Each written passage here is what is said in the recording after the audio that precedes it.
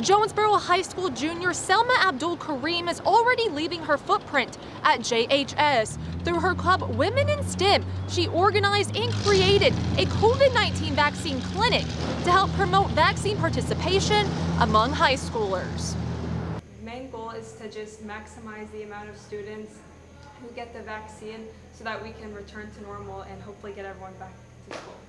The clinic took place today at the St. Bernard's Auditorium with over 70 students and parents attending.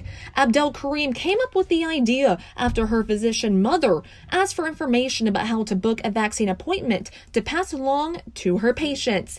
The 17 year old aspiring doctor thought that would be beneficial for her peers and their families. After pitching the idea and working with JHS and St. Bernard's, the clinic was formed. Fellow student Celia Mayfield says she was excited to roll her sleeve up to get vaccinated. I saw that there was this opportunity and it was going to be something that I could easily go to during school.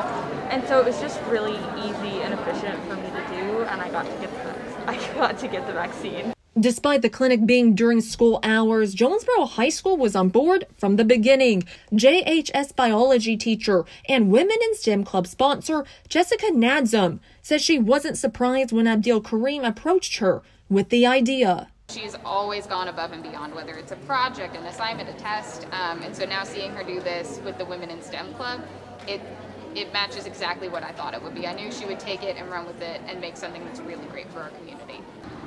Now, everyone who participated today will come back on May 14th to receive their second dose. Now, Nazim and Abdul Kareem hope other school districts will follow and sponsor student vaccine clinics as well.